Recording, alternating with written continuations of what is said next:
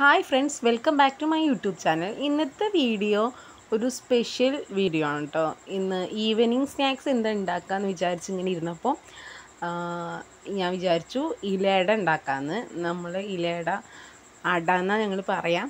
ഇത് പൊടിയേന്റെ ഇല കേട്ടോ ഇതാണ് ഞങ്ങൾ അടക്കി എടുക്കാറുള്ളത്.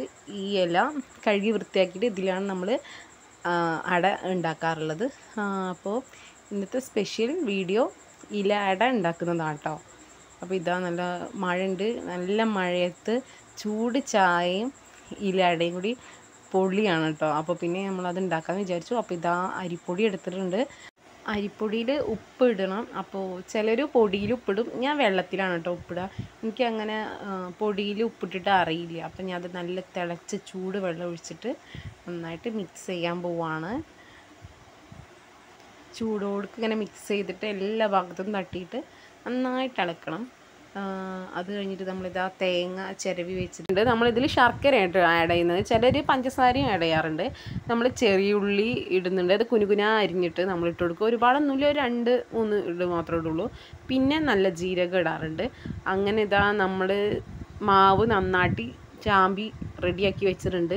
അപ്പോൾ ഇത് പൊടിയനില കേട്ടോ ഇത് പൊടിയനില എന്ന് ഇവിടെ പറയാം പിന്നെ പല സ്ഥലങ്ങളിൽ പല പേരാണ് ഇതിന്. ഇങ്ങനെ ഇതാ പത്തെണ്ണമാണ് ഞാൻ ഉണ്ടാക്കിയിട്ടുള്ളത്. ഞങ്ങളിവിടെ നാലാൾക്കാരുള്ളൂ. അങ്ങനെ ഇതാ ഞാൻ പരത്തി റെഡിയാക്കി വെച്ചിട്ടുണ്ട്. ഇനി ഇതിലേക്ക് നമ്മൾ ഉണ്ടാക്കി വെച്ച തേങ്ങ നമ്മൾ വെക്കാം കേട്ടോ. ശർക്കരയും തേങ്ങയും ഉള്ളിയും നല്ല ജീരകമൊക്കെ വെച്ച അത് നന്നായിട്ട് ഇതാ ചെയ്തു മടക്കി വെച്ച് ഇങ്ങനെയാണ് നമ്മൾ മടക്കുക കേട്ടോ. എന്നിട്ട് നമ്മൾ നമ്മൾ ഗ്യാസിലല്ല കേട്ടോ വെക്കുന്നത്? നമ്മൾ അടുപ്പിലാണ് വെക്കുന്നത്. ഇഡ്ലി ചെമ്പിൽ വെച്ചിട്ട് ആണ് വേവിക്കുന്നത്. ആവി കൊള്ളിച്ച് വേവിക്കുകയാണ് കേട്ടോ അങ്ങനെ ഇതാ വെള്ളമൊക്കെ തിളച്ച് നമ്മളിതാ പതുക്കെ പതുക്കെ ഇങ്ങനെ വെച്ചിട്ട് കൊടുക്കുകയാണ് പുറത്ത് നല്ല മഴയാണ് കേട്ടോ അതാണ് ഒരു ഇരുട് പിടിച്ച പോലെ.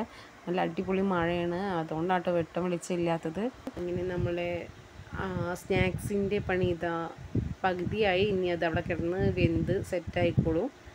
അങ്ങനെ നമ്മൾ ഇടയ്ക്കൊന്ന് തുറന്ന് നോക്കിയിട്ടോ അപ്പോൾ നല്ല സ്മെല്ല് ഈ ശർക്കരയുടെ തേങ്ങയുടെ വെന്തൊരു സ്മെല്ലുണ്ടല്ലോ അത് നല്ലൊരു സ്മെല്ലാണ് ഈ അട ഉണ്ടാക്കുമ്പോൾ എനിക്ക് എപ്പോഴും ഓർമ്മ വരും. എന്റെ അച്ഛനെ. അച്ഛയ്ക്ക് ഭയങ്കര ഇഷ്ടമാണ് അട.